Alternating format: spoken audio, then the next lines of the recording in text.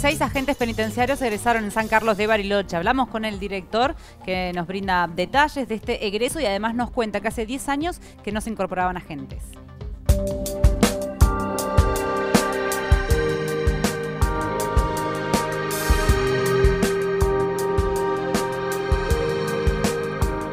Muy contento porque estábamos en deuda con Bariloche y, este curso era sumamente necesario, estábamos pidiéndole colaboración a policía para poder cubrir los servicios indispensables. Hoy tenemos 36 egresados que van a quedar todos en Bariloche,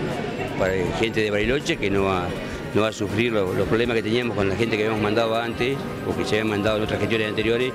que era gente del Valle, gente de, de Viedma, que venía acá y permanentemente estábamos sufriendo reclamos de pedido de traslado. Este, y, es muy difícil trabajar o gestionar una, gestión, realizar una gestión de, mando dentro del penal con gente que no quiere estar trabajando en el lugar. Así que dentro de la proyección que hicimos, cuando empezamos la gestión, le habíamos pedido al gobernador que nos autorice un curso en Bariloche. El año pasado no llegamos presupuestariamente como para hacer el curso este, y se hizo en Chipoletti y Roca, que tenía un déficit grande también de personal y se postergó este para fin de año y logramos, logramos meterlo y hoy termina, termina este, el cursado y las pasantías. Así que eh, gente que, está bien formada, con profesionales de la justicia que fueron profesores, personal penitenciario con mucha experiencia que también fue profesores, eh, sus guías fueron empleados que han vivido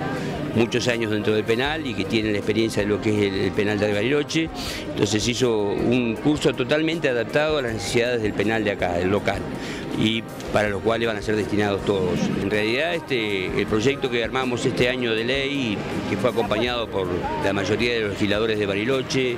este, y los legisladores provinciales del oficialismo, este, realmente eh, va a ser eh, un cambio trascendental para el servicio, porque la ley que teníamos antes hacía que los penitenciarios que egresaron hace 10 años eh, todavía sigan siendo agentes y cobren el mismo sueldo que cobraron cuando ingresaron. Entonces, lo que nosotros diseñamos fue una ley que se tomó de las cosas más positivas de todos los servicios que están funcionando hoy en la Argentina. Se tomó lo mejor del Servicio Penitenciario Federal, lo mejor del Servicio Penitenciario de Córdoba, de San Luis. Entonces, cuando nosotros ahora en la ley preveímos seis meses, 180 días para adecuar en una junta extraordinaria la jerarquía de los penitenciarios viejos este, reconociéndole este, los ascensos caídos durante estos 10 años de carrera.